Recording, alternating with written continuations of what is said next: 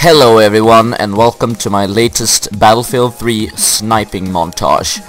Now, as you already know, I have been posting huge amounts of sniping montages in my days.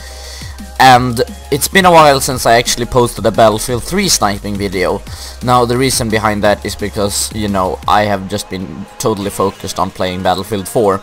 But now recently I had to um, re-download and reinstall Battlefield 4 and during that time I've been playing huge amounts of Battlefield 3 and yesterday I destroyed the enemy team as a sniper. I must have gotten at least 50 kills with the sniper only.